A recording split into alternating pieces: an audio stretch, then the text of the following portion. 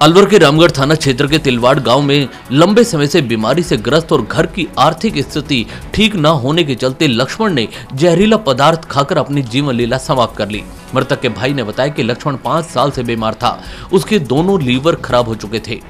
घर की स्थिति भी ठीक नहीं होने के कारण इलाज नहीं करा पा रहा था।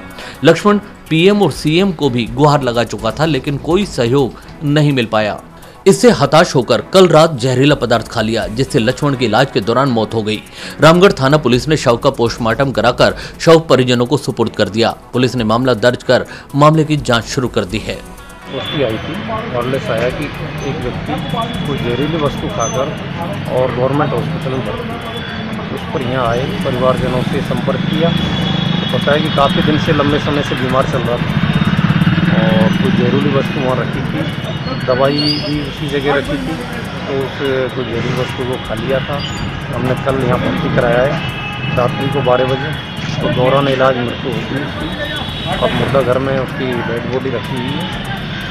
पोस्टमार्टम रिपोर्ट आने पर ही असलियत का पता चला।